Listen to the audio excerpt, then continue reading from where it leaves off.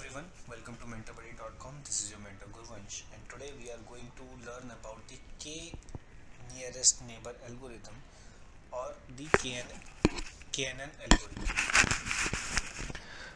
So guys this KNN algorithm is also a classification algorithm which we use for a non-linear classification.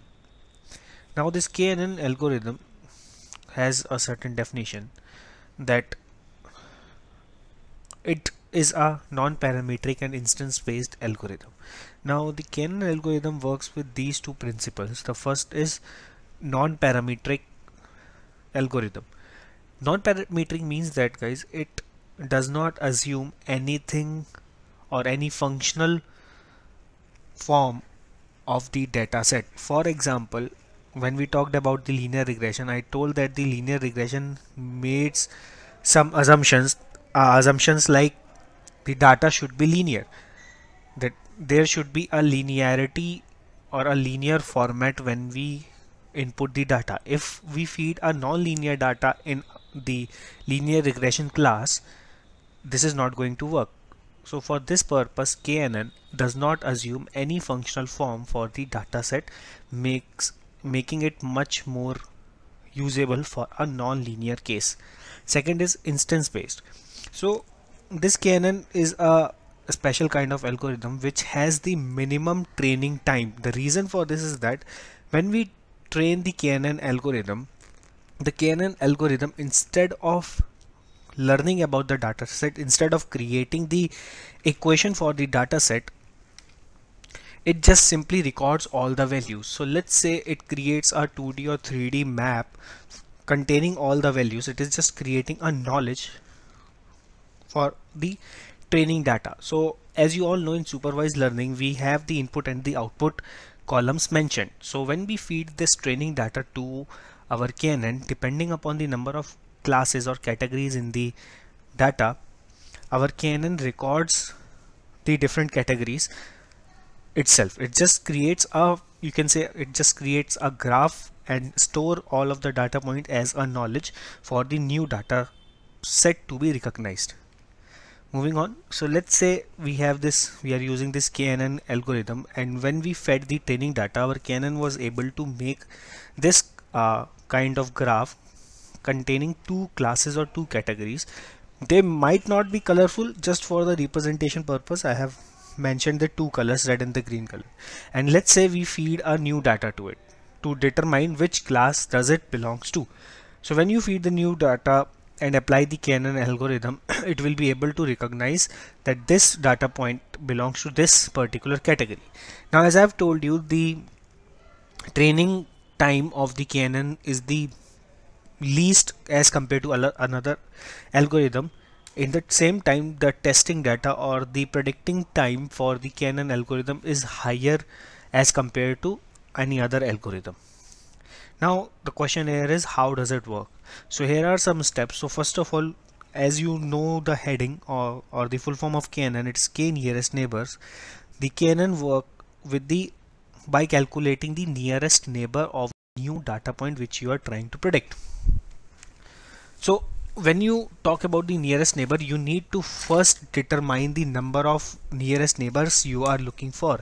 Let's say uh, you are looking for two neighbors three neighbors five neighbors. So we have to determine or we have to uh, tell how many neighbors are you looking for. It is your job to tell. As for the selection of number of neighbors we will talk discuss about that in the future. Now once this number is set that you want three neighbors five neighbors ten neighbors eight neighbors. The KNN algorithm will try to find out that particular number of neighbors depending upon the Euclidean distance. You can use the Manhattan distance also but generally we use the Euclidean distance. This is step 2 for step 3 depending upon the number of neighbors it has found we will count how many number of neighbors belongs to which category? For example let's say we have selected seven neighbors. Out of seven neighbors three belong to category 1 and four belong to category 2 this will happen in the step number 3 where we will count how many neighbors belongs to which category. Step 4 is we assign the new data point. The new data point which we entered we as we will assign that new data point to the category having the higher number of neighbors or having the most neighbors. After this is done our model is ready. Now let's take a pictorial example of these four steps. First step is to choose the number of k of neighbors. So here we have chosen 5 so now guys to select the number of neighbors we generally take the maximum number which we go with is the square root of the total number of rows. So let's say you have 400 rows so the square root of 400 will be 20 so the maximum number of neighbors you can give is the square root of 400 which will be 20 but we generally do not do this. The more number of neighbors we give the more calculating time it will take. And to make it easier to make it faster to predict the class of the new data point we always try to give odd number of neighbors the reason over here is that let's say you have given 10 neighbors and by chance the algorithm was able to get 5 5 neighbors for both the class it will make the problem hectic. This is a very rare chance but this can still happen. So how what number we give? We always try to give a, odd number to the number of neighbors and the maximum number of neighbors which we can select is the square root of the total number of rows. Moving on second step is to calculate the nearest neighbors using the Euclidean distance. Now as for the formulation of Euclidean distance it is very easy.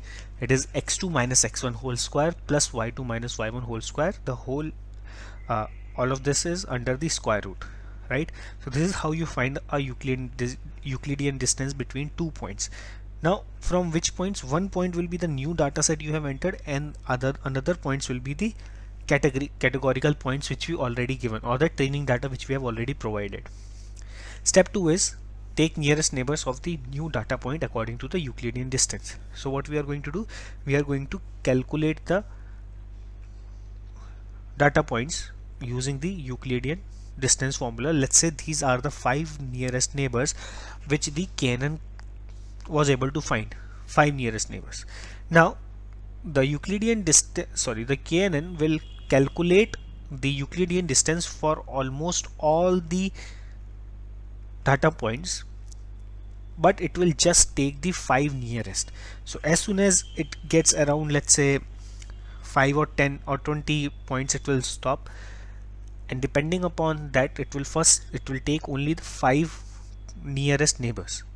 Next thing is among these neighbors count the number of neighbors in each category. Now we are going to count in which category how many neighbors are there? So in category 1 according to this we have two neighbors and in category 2 we have three neighbors. Step 4 is assign the new data set to category wherever you counted the most. Now in the category 2 since we have three neighbors that is the most number of neighbors which we found out of 5 we will assign our new data point as the category 2 so this becomes a red color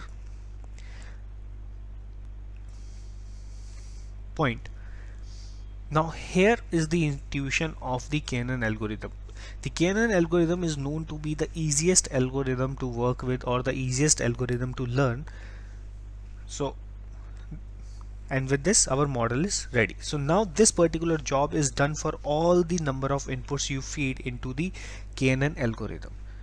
So this was it for KNN algorithm guys. Thank you for joining us on mentor buddy. I hope that this KNN intuition is clear to you thank you guys. Bye bye take care